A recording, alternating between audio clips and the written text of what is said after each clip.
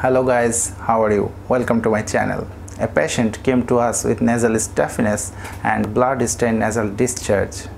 On examination, we found that a fleshy raspberry-like mass is occupying his one nasal cavity.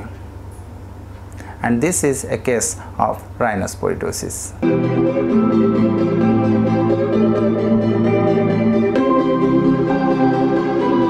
Rhinosporidiosis is a chronic granulomatous infection. It is caused by Rhinosporidium seeberi. These organisms have long been considered as fungus, but some consider this as protozoa or fish parasite. The natural habitat of these organisms are fresh pool of stagnant water. Most cases of rhinosporidiosis are seen from India, Pakistan, Bangladesh, Sri Lanka and Africa. No case has been reported from Australia. So, who are at risk of developing rhinosporidiosis?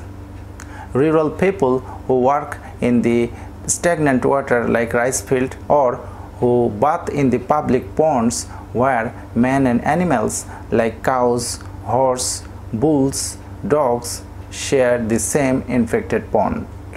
People of ages between 15 and 40 years are commonly affected and males are more commonly affected than the females. What are the sites of infection of rhinosporidiosis? In about 70% of cases, it affects the nasal cavity. But it can also affect the mucosa of the conjunctiva, nasopharynx, palate, epiglottis, larynx, trachea, bronchi, vulva and vagina. Though it is primarily a disease of the mucous membrane, it can also affect skin sometimes. The symptoms patient present with are stuffiness in nose, blood-stained nasal discharge, sometimes frank epistaxis, but general condition of the patient is not so hampered. On examination, we will find that a sessile or pedunculated mass occupying one or both nostril.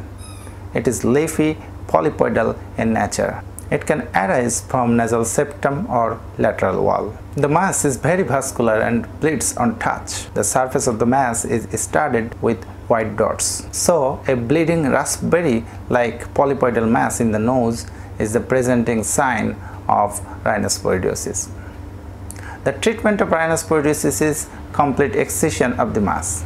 Rhinosporidiosis is very prone to recurrence. To prevent recurrence, we have to do wide-based cautery after excision of the mass. Dapsone, an anti-leprosy drug, is sometimes used in the postoperative period for 6 to 12 months to prevent recurrence.